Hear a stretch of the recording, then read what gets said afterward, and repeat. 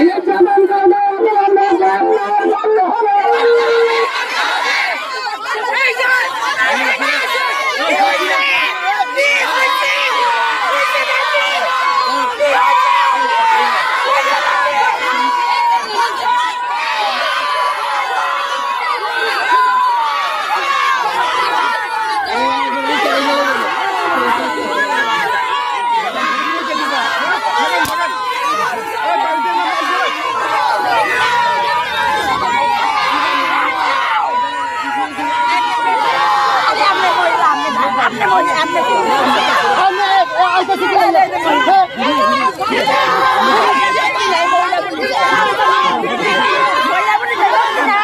আপনারা মারবেন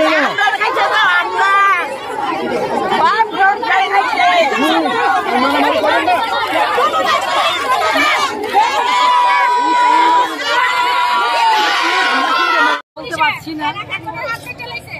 এখন পর্যন্ত বলতে পারছি না যে পুলিশ প্রশাসন থেকে আমাদেরকে কোনো রকম সহযোগিতা করেছে। অত্যন্ত সংযতভাবেই কিন্তু এখানে প্রতিবাদটা শুরু হয়েছিল। কিন্তু ওরা কিছুতেই এখানে প্রথমত তারা মাইক ব্যবহার করতে দেবে না। মাইক যদি ব্যবহার না করে, তাহলে কি করে মেয়েরা কতক্ষণ চিৎকার দিয়ে স্লোগান দেবে কথা বলবে? মাইক ছাড়া তো কথা বলা যায় না। আমরা শুধু স্লোগান দিচ্ছিলাম এবং পুলিশকে আক্রমণ করে আমরা কোনো স্লোগান দিইনি।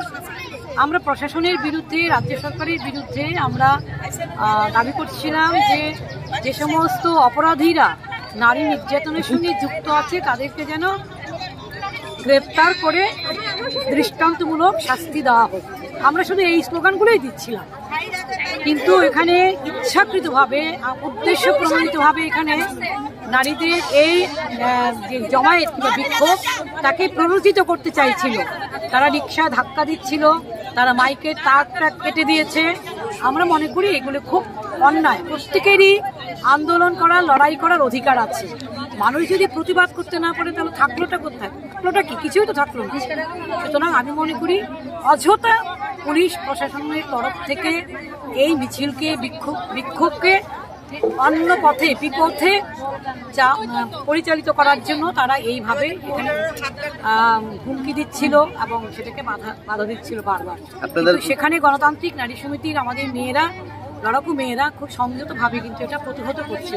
এবং প্রচণ্ড ধাক্কা ধাক্কি তার ফলে অনেক মেয়েরা কিন্তু কম বেশি আহত হয়েছে। একজন মেয়ে তো, আমাদের একজন কমপ্লিট রক্তাক্ত হয়েছে। আমরা কিন্তু কিচ্ছু জানে। এখন পর্যন্ত কিন্তু আমরা কোনো অন্যায়ভাবে আইন কিন্তু আমরা ভাঙিনি। কিন্তু সহ্যের কিন্তু সীমা ছাড়িয়ে যাচ্ছে? পুরুষ নারী নারী পুলিশ এখানে অনেক। কিন্তু সমস্ত পুরুষ পুরুষদের এখানে ব্যবহার করা হচ্ছে। সুতরাং এইগুলি আমরা তীব্রভাবে আপত্তি জানাচ্ছি এবং আমরা সমগ্র নারী সমাজের কাছে আহ্বান রাখব আগামী দিনে যেন এই অপরাধীদের বিরুদ্ধে যেন